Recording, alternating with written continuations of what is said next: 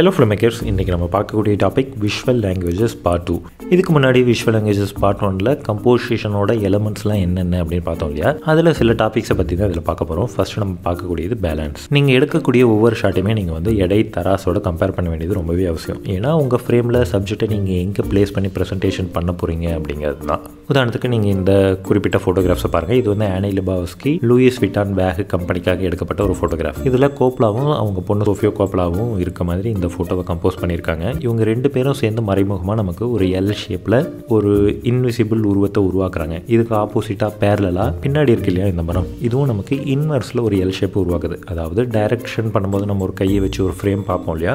அது போல் ஒரு ஷேப் உருவாக்கி இந்த ஃப்ரேமையே வந்து ஒரு பேலன்ஸ்டாக மாற்றுது சிமெட்ரிக்கல் அப்படின்னா ரெண்டு பக்கமும் ஈவனாக சென்டரில் சப்ஜெக்டை ப்ளேஸ் பண்ணி வைக்கக்கூடிய ஒரு மெத்தட் தான். நீங்கள் பன்ஷாலியோட நிறைய திரைப்படங்களில் இந்த சிமெட்ரிக்கல் மெத்தட்ஸ் நீங்கள் பார்த்துருப்பீங்க.